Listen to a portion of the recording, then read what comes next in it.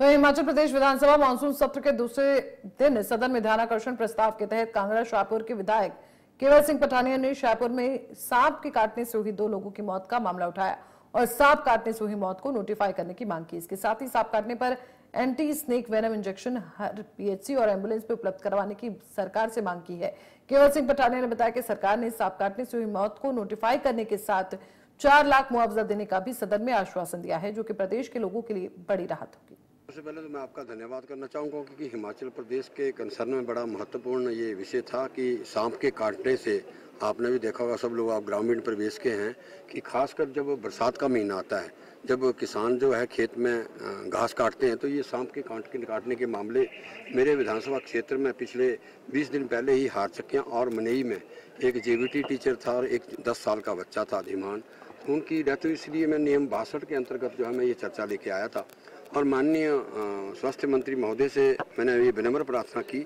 सबसे पहले तो मैंने ये प्रार्थना की बासठ के अंतर्गत की इसको नोटिफाइड यानी कि अभी तक सांप के काटने की कोई नोटिफाइड बीमारी नहीं है। वो नोटिफाइड किया जाए।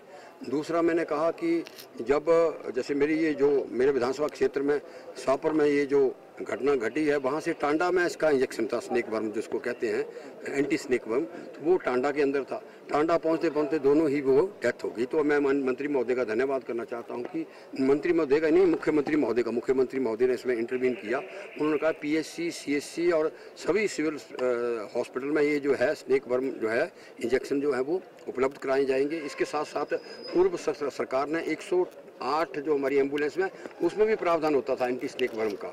वो भी खत्म कर दिया था। आज माननीय मुख्यमंत्री महोदय ने कहा, द्वारा से 108 में जो है, इसको जो है, द्वारा जो आरंभ किया जाएगा। मैं माननीय मुख्यमंत्री और स्वास्थ्य मंत्री का जो है, मैं धन्यवाद करना चाहता हूँ।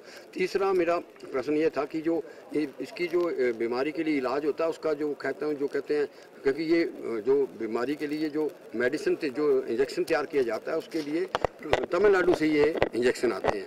और तमिलनाडु की जोग्राफी और टोपोग्राफी और टोपोग्राफी और हिमाचल प्रदेश की टोपोग्राफी में फ़र्क है। तो हमने कहा कि एक स्नेक पार्क जिसको कहते हैं, जिसमें ये इंजेक्शन तैयार किए जाते हैं, वो जिला कांगड़ा के चिड़ियाघर में डिपार्टमेंट ऑफ़ वाइल्ड लाइफ ने और इन्होंने ऑलरेडी वन विभाग ने स्टडी की हुई है। तो उसको लेकर हमने कहा कि उसकी, क्योंकि यहाँ का जो कोबरा है, खड़पा है, जो भी जितनी प्रकार की प्रजातियाँ पाई जाती हैं, बड़े जहरीले हैं। और वो तमिलनाडु के अलावा यहाँ तो इसलिए हमने कहा कि यहाँ ही उसकी जो है दवाई तैयार की जाए, जो हमारी कसौली के अंदर उनके साथ कोऑर्डिनेशन आई है, उसके कोऑर्डिनेशन के साथ तो उस पर भी मंत्री महोदय ने आश्वासन दिया कि उस